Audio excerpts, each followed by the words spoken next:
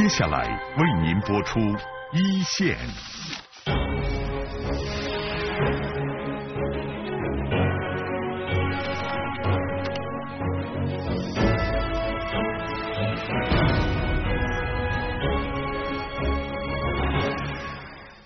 那天早上就是接了一单大生意，呃，到同行那里筹集了大概有十六万欧元。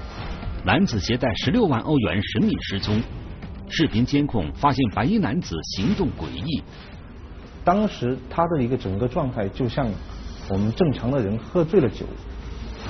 三个小时，包厢里究竟发生了什么？迷药一线即将播出。二零一三年六月八日。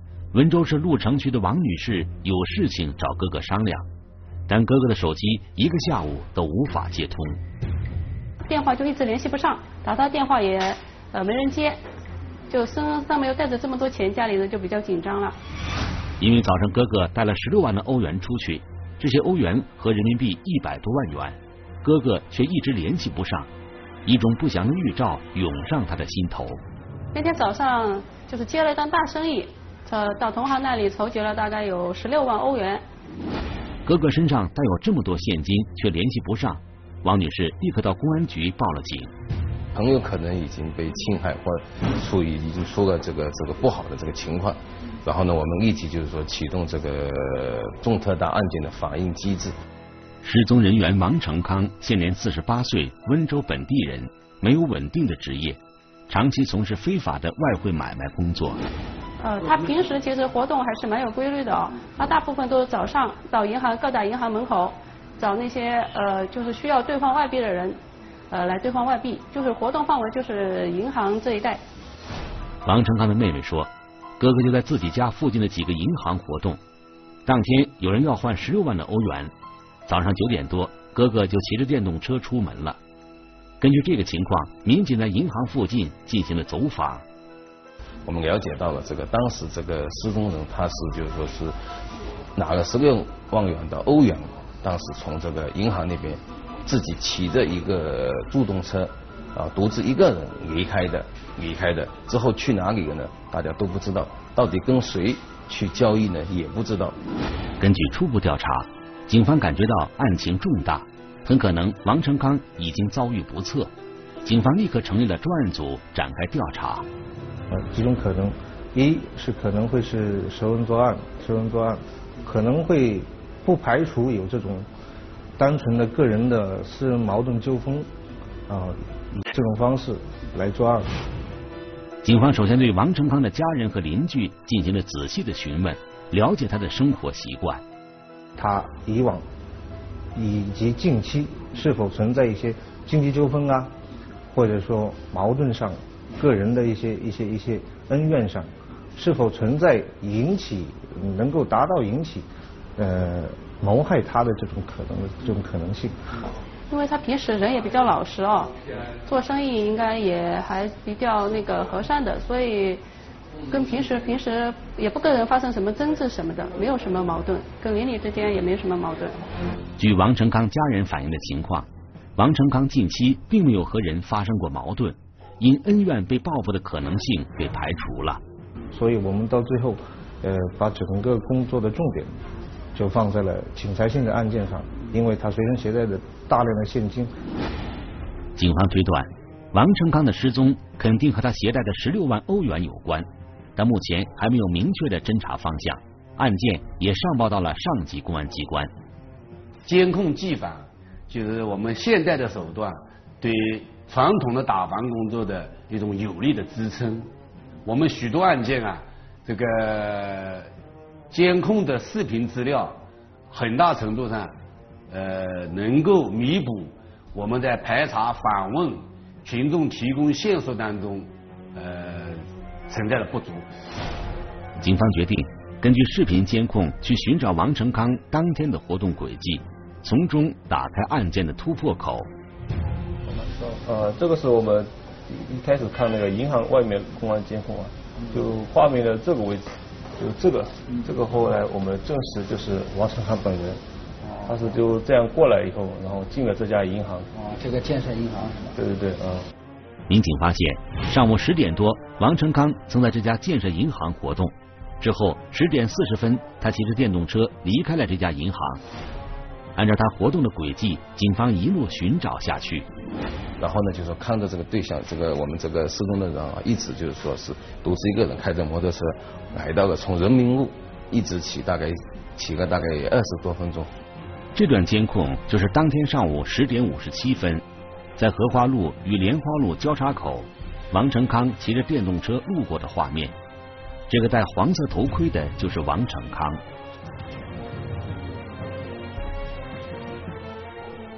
然后接下来这个是我们之后跟踪的，一直到他那个拉方社的监控录像。这里我们看到王成康进了这家拉方社。哦，这是一个茶社喝茶的地方。对，喝喝喝茶也可以吃饭，都可以的。这个就是失踪的那个人。对对，这个我们后来经过辨认啊，就王成康本人。这就是当时的监控视频。上午十一点零四分的时候，王成康骑着电动车来到这个叫拉芳社的茶餐厅，锁好自己的电动车，他进入了这家茶餐厅。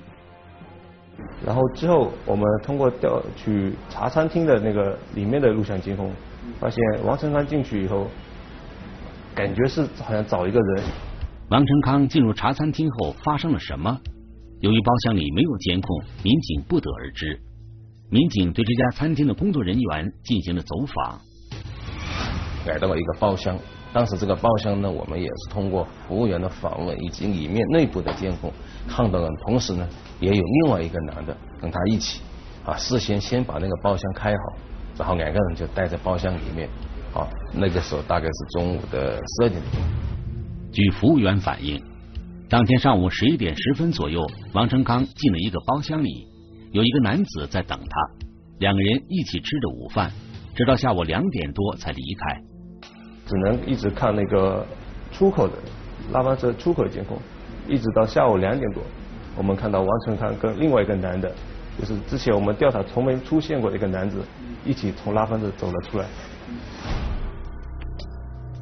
我们从画面里可以看到，下午两点十三分，王成康和一个白衣男子一起走出了这家茶餐厅，二人一共在茶餐厅待了三个小时十分钟，这中间发生了什么？我们不得而知。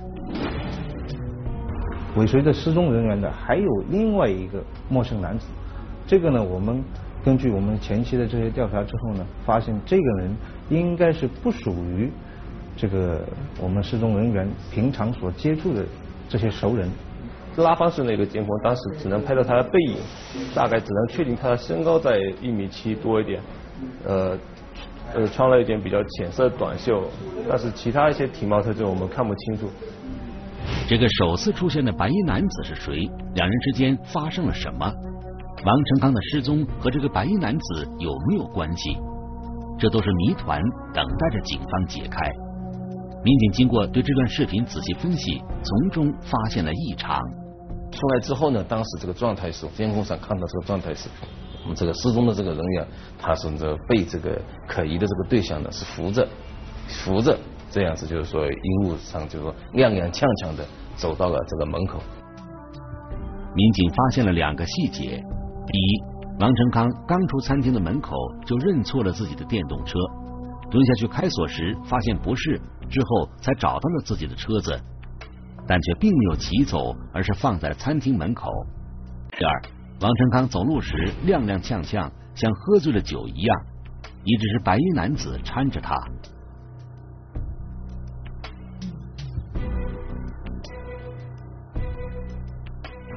当时他的一个整个状态，就像我们正常的人喝醉了酒这样的一个情形，走路呢踉踉跄跄的。根据视频监控，民警推测，这时的王成康大脑可能已经不怎么清醒。也许是喝多了酒，或者发生了别的事情，他已经无法骑电动车了。这个白衣男子扶着王成康，一直走到了马路边等候出租车。应该说，被害人受到了某种受到了某种某种药物，或者说其他的一种食物所导致的他身体上一种不适。哦，这样的一个状况。下午两点多的时候。两人在路边拦了一辆黄色的出租车，一起上了车。这也被不远处十字路口的监控拍到了。可疑的对象呢，拦了一辆出租车，两个人一起就是说上了那个出租车，然后离开了这个夏威铺这个茶室。这就是失踪人员王成康当时乘坐的那辆黄色的出租车。根据车牌号码，民警找到了这辆出租车的司机。那天下午，我就是在那个茶室那边啊，拉了两个男的，然后嘛，他们上了我的车，说要到那个呃江滨路那里，然后嘛，当时嘛，两个男的，一个跟我说话，一个我看好像迷迷糊糊的。经过调查。司机的说法和民警的判断完全吻合。坐在车里的时候嘛，他另外一个就是迷迷糊糊那个男的靠在另外一个男的肩膀上面，我看他反正不太说话，因为都是另外一个人在说话。出租车司机特别留意我们的被害人，他的表现相当异常，讲话呢讲不清楚，讲话讲不清楚，行动在行为上基本上是靠那个陌生男子把他搀扶到出租车上。这时，失踪的王成康已经两天没有音讯了。警方也在外围寻找相关线索，包括我们温州市区以外的其他其他一些公安机关单位，让他们帮助我们发出我们发出协查之后，让他们帮助我们来寻找有类似的类似的案件，或者说呃有其他的无名尸啊。协查通告发出去之后，也始终没有无名尸体出现，也没有王成刚相关的信息反馈。案件只能依据视频监控继续往下寻找。后来我们到了那个江滨路那里嘛，两个人一起下了车，就这样。出租车司机说，当时两人到了滨江路一个小区下了车。根据司机反映的情况，通过监控，民警又找到了两人的踪迹。这辆黄色出租车，他开过来，两个人下车，下车以后没有去其他地方，那个。我们后来查问那个对象，就是他自己的车就停在这辆出租车的旁边。后来两个人就上了这辆出租车，而不是这辆他自家的那个车子。下午两点二十分，两人到了这个小区，上了一辆白色的丰田凯美瑞小轿车，在车上停留了六分钟左右。两点二十六分，这辆白色的小轿车开出了小区。但是从监控，因为监控当时比较模糊，没办法看清这个私家车的牌照。然后奇怪的是，他两个人上了私家车之后，私家车在江滨路上转了一圈，又回到了他原先停放的地方。民警在查看监控录像的时候，意外的发现，这辆白色的凯美瑞轿车出去兜了一圈，四分钟后，也就是两点三十分，又回到了小区原来停放的位置。所以我们当时感觉，呃。这个是不是犯罪嫌疑人故意的说不使用自己的车辆，以免造成比方说被我们公安机关或者说呃监控录像所记录下他他的一些行为，所以我们当时也考虑了一些这些这些情况。两点四十分，这个白衣男子和王成康一起又打了一辆出租车离开这个小区，驶向郊区，继续跟踪第二辆出租车。当时发现这辆出租车不是沿着我们正常的出租车行进轨迹，它是在市区绕了一个弯之后，又到了我们呃市区的景山景山公园附近，景山公园附近，而且是沿着一条小路直接上了山。出租车在温州郊区一个叫景山的地方消失了，两人的踪迹自此就再也没有在市区出现过。因为这么长时间手机还是联系不上，联系不上，可能已经遇害了，或者说被他控制了，或怎么样子，分析可能是这个原因。通过对失踪人员王成康一天行动轨迹的追踪，警方基本已经了解了他失踪前的这一天活动轨迹。王成康是早上九点出门，在这家建设银行活动一个多小时，十一点左右离开银行，十一点十分来到这家茶餐厅和一个白衣男子吃了一顿饭。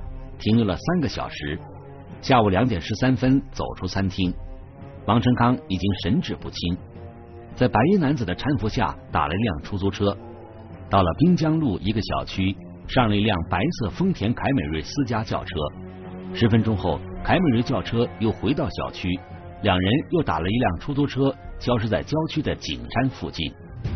那个时候，我们的感觉是找到这个男子，基本上呃可以呃了解到呃王成刚失踪的这个事情有关系。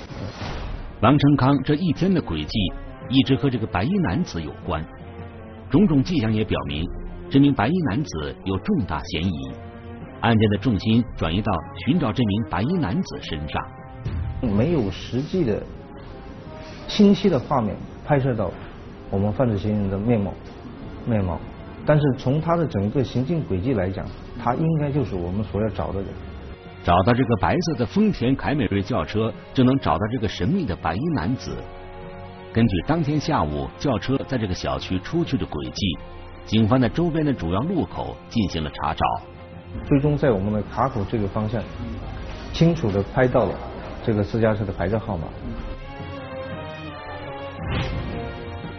这个车主，这个当时这个是有个身份登记的，身份登记以后，我们然后马上就是说，呃，研判了这个人啊，就当时这个通过这个监控上面看到的这个人跟这个车主这个资料的照片啊一一对一下。经过查询，丰田凯美瑞的车主名叫于丽，五十岁，温州本地人。他是不是监控中的白衣男子呢？就是这个，就是跟失失失失踪这个人在一起的这个可疑的对象，就是这个车主，就是这辆自备车的这个车主。呃，这个身份确定了他所住的一个地址。警方决定立刻抓捕嫌疑人于丽。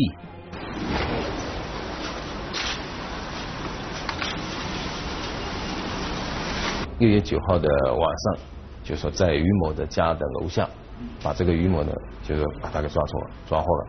抓获之后呢，这个对象呢，刚开始呢，他呢就是说对自己这一块都不承认。于丽落网之后，百般抵赖，拒不交代。但警方很快就到他家搜到了十六万的欧元，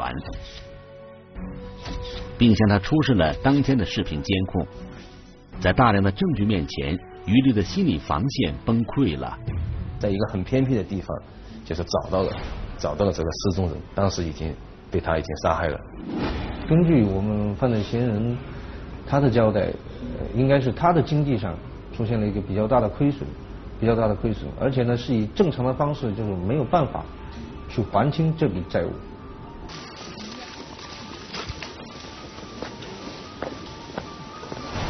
于丽落网后，在他的带领下。警方在这个山坡上找到了已经被害的王成康的尸体。据于丽交代，他其实早有预谋，并且在案发前已经准备了作案工具。他谎称要换十六万的欧元急用，约了王成康来到这个茶餐厅进行交易。然后在整个查作过程当中，我们犯罪嫌疑人就在被害人的茶水当中，茶水当中偷偷的灌入了两瓶。他所购买的乖乖水，在吃饭的过程中，于丽在王成康的茶水里偷偷下了迷药。两个小时后，王成康大脑开始迷糊，于丽把他骗到温州附近的荒山中下了手。携带一条毛巾，骑在我们被害人的身上，双手用毛巾勒住他的脖子，这个犯罪嫌疑人就用毛巾把他给捂死了。目前。嫌疑人余力已被温州检察机关批准逮捕，而这起案件完全靠现代科技的监控技防破了案。他们作案者啊，能够感受到的这种综合人防和监控技防啊，这个实际上对他们来讲是一种威慑，是一种震慑啊。对我们新形势下这个人口大流动啊、信息化、动态化情况下面。呃，提高我们的打击和防范的效能是非常重要的。酒店门口出现神秘人物，行动缘何，鬼鬼祟祟。如果你拿到网上去查的话，那么也是真的。所以呢，你从外观上看是根本看不出来的。千里调查，异地办案，遭遇重重困难，能否找出幕后黑手？都是网上，就是用望远镜什么东西在这样去看的。酒瓶里的秘密一线即将播出。二零一三年春节，浙江省常山县公安局方村派出所民警施文杰在一个村庄走访时，发现了一个意外的情况。呃，有村民跟我反映啊，就是这个郑火木在嗯，他是做这个要回收这个假飞天茅台以及这个五粮液的这个包装的。村民反映，一个叫郑火木的村民长期在长山县的高档饭店收购空酒瓶。自从郑火木做了这个生意后，短时间里家里就盖起了楼房，买了私家车。这个信息引起了施文杰的重视，他立刻向局领导进行了汇报。我们就认真的进行了研究，觉得在这个当中有这个可能涉及掉很大的这个销售假冒伪劣个白酒的一个团伙。警方推断，回收旧的高档酒瓶可能和假酒有关。长山公安局决定立案进行侦查。警方发现，郑火木定期到酒店收购高档酒瓶和包装，之后就运到了杭州。呃，后来是发现他主要活动地地都是在杭州这边。嗯，像这种节假日啊，像中秋，可能过年的时候可能会回到徐州这边回收一些包装。而在侦查中，民警发现郑火木为了扩大经营，在衢州本地还发展有下线。我们浙江衢州有一个下家叫郑小成。然后今年四月份，我们就重点围绕着郑小成展开调查。通过调查，警方发现郑小成就在饭店收购空酒瓶和包装，定期卖给郑火木。这些包装是如何收购的呢？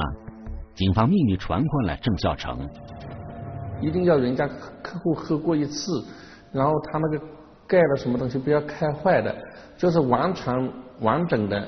没有损耗的，没有刮痕的，这样子。郑小成说，杭州的郑火木是他的上家，他到饭店收来的包装都通过物流发给杭州的郑火木，郑火木把钱打到他的账户上。当时你们收这个五粮液的瓶子，然后就是收一个瓶子多少钱，能卖多少钱？收一个就是好的话，这样一般的就是十块一个。然后，如果有一个箱有六个袋的话，那这么一种它可以卖掉两百二左右。郑小成说，五粮液的瓶子和外包装收一套二十块钱，一箱六瓶，一箱收购价一百二十元，卖给郑火木给二百二十元，自己能挣一百元。那么这些名酒的包装最后又流到哪里去呢？发现郑小成不但有一个上家是浙江杭州的。啊，郑火木还有一另外一个上家是北京的啊，叫刘洋。据郑小成交代，他收购的包装一部分卖给杭州的郑火木，而郑火木的上线是北京一个叫刘洋的人。有时候他也绕过郑火木，把另一部分酒瓶通过物流直接卖给北京的刘洋。然后他价格出的高一点，他说他是直接卖到北京，他有市场的，有人专门这种做这种包装生意的嘛。刘洋今年二十七岁，湖北随州人，租住在北京大兴区的一个村庄。警方通过物流公司的调查，发现杭州的郑火木和北京的刘洋也有密切的来往。警方决定到北京对刘洋进行调查。乡下一个出租房里面，然后发现这个有这个出租房呢，它是其实它是二十四小时灯都开着的，一直都亮的，然后不停的有人进进出出。经过一个星期的跟踪守候，警方找到了刘洋生产假酒的窝点，把那个那个酒店里面回收的这个酒瓶拿过来，拿过来之后，再把那个酒灌装进去之后，那么就是把这个瓶盖压上去。警方通过外围走访和跟踪调查，发现刘洋和他的叔叔刘军一起招募了几名工人，在北京大兴一个偏僻的仓库生产假酒。而且生产的都是高档假酒，低档酒，把它倒在这个收购来的空的这个茅台、五粮液这这个瓶子里面，然后用这个压盖器啊、假的防伪标志啊，这个贴上去。警方在调查中发现，刘军、刘洋叔侄俩利用收过来的空旧酒瓶和包装，把四十元左右的金六福酒装进五粮液的瓶子。把一百元左右的茅台王子酒装进茅台酒的瓶子里。那么从口感上呢，一般人也很难分辨。为什么呢？因为它茅台酒就是用茅台镇的那个茅台王子酒，也是酱香型。那么它灌装进去之后，你喝起来的时候口感就是也是差不多的。灌装完之后，这只是生产假酒的第一步，他们还要加上假的防伪标志。如果你拿到网上去查的话，那么也是真的。普通老百姓，你几乎是很少喝这种酒的人，那么你根本分辨不出来，你都认为是真的。那么，刘军叔侄的假酒生产出了之后，又被卖到哪里去了呢？警方继续展开调查。呃，我们通过银行查询，后来又发现山东的、江苏的，就是是下线嘛，就是那些销售的网络啊。警方调查中发现，刘军在北京开了一个名酒批发部作为掩护。面向全国销售假酒，他通过这个，他有 QQ、微信，还有淘宝，还有各很多这种方方式，各种各样的方式联系这些下家。刘军和刘洋通过各种各样的销售渠道推销他们的假酒，其中给他提供包装的郑火木、郑孝成也是他销售的下线之一。就是那个刘军供过几次货，有六五六十斤吧，五六十六七十斤还，嗯，都进的是什么呀？就是基本上都是五粮液，在茅台都可能也进过几斤。就这样，通过郑孝成这样的下线，这些假酒又回到了酒店的售货架上。为了扩大销售量，刘军还在全国的糖酒交易会上浑水摸鱼。江西的白酒经销商邓万军，就是在成都的全国糖酒交易会上认识了刘军。他这个酒是好的酒，就是好的酒对的，拿了。一箱零两瓶那个样品嘛，得放这里销一下，顾客喝的好才这样。就是通过这样的方式，刘军和刘洋的假酒销售网络涉及到全国多个省份。那么这一瓶成本在一百元左右的假酒，他批发给经销商多少钱呢？那么这个整一箱六瓶酒，那么他们成本也只不过是四五百块钱。那么进去之后，那给批发商的时候，那么一箱酒就是要达到一千了。那么批发商卖出去的时候，到了消费者的时候，那一瓶酒就是一千了。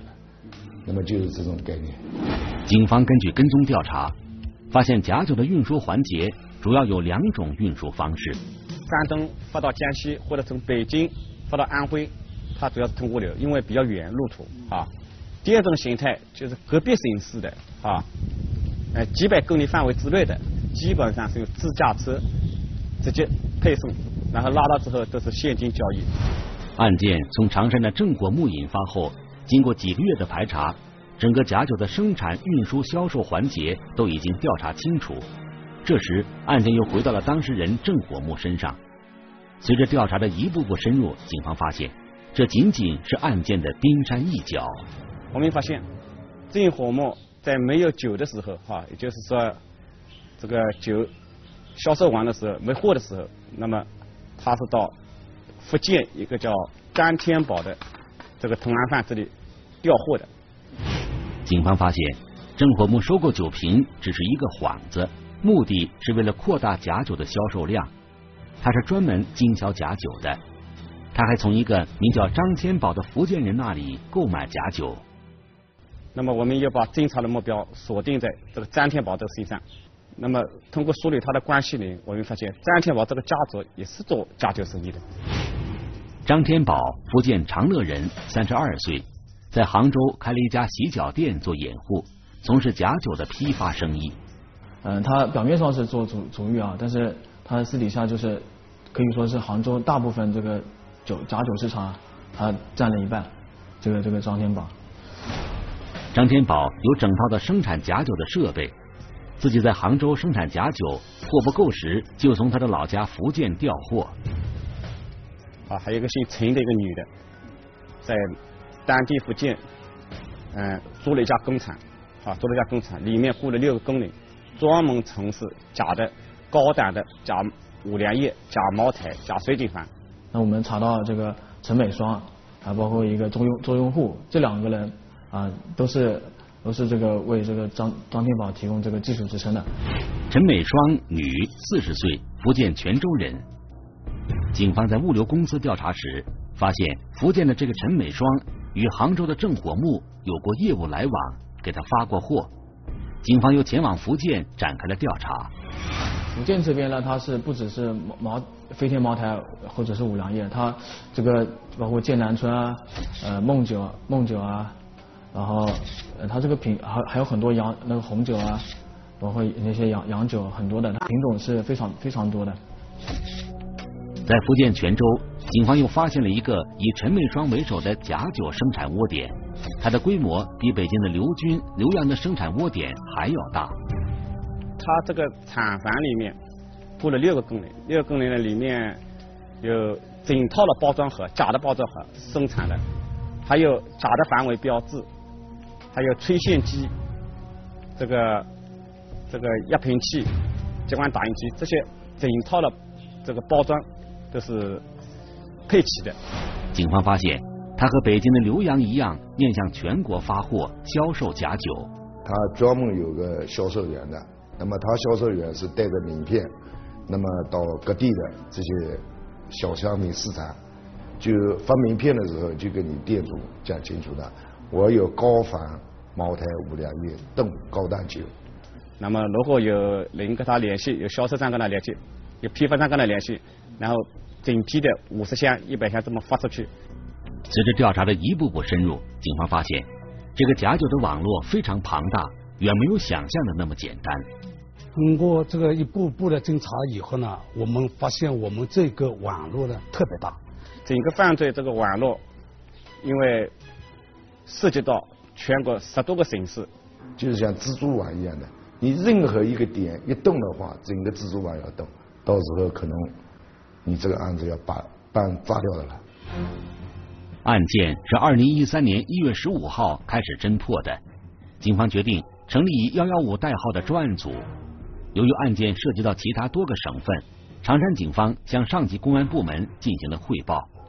嗯，积极的向徐州市公安局、浙江省公安厅经侦总队，还有我们公安部经侦局第二直属总队进行了专题的汇报。主要是还是打打这个产业链，我们是以中间打中间向两头拓展开发，是以以这个把这个运输、生产的、运输的、销售的，它是一体化，就把这个链条跟它切断了。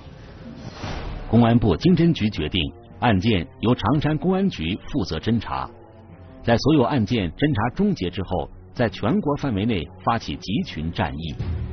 那么，为了不打草惊蛇，特特别是在这个落地查控这个人员以及它的销售网络的时候，那我们都做到了这个单独的跟相关的这个公安机关的人员的一对一的联系，确保线索不扩散，不惊动涉假造假的人员。经过四十多位民警五个多月的侦查，加上涉案当地公安机关的大力配合和支持，案件的整个网络已经摸排清楚。四个地方自家窝点，那包括销售的，你比如说山东的，在安徽的，在包括我们嗯江西的，在还有那个浙江的，在这北京的这些销售网络也给他弄起来。经过侦查，发现了有涉及九个省、二十一个地市，这个都有存在这个销售网络。为假酒生产提供配套服务的外围生产厂家也被调查清楚。再反过来查他们的那个呃包装盒和那个防伪标签、瓶盖这一类的，那么就把江苏的，再和那个四川的，这样的整个那个这个网络，那我们是比较清晰了。截止到二零一三年六月，这个涉及全国九个省、二十一个城市的特大制售假酒的网络被彻底查清，涉案的所有嫌疑人的身份也被全部调查清楚。二零一三年六月十四日，在公安部的统一部署下，全国涉案九个省、二十一个城市采取了统一行动。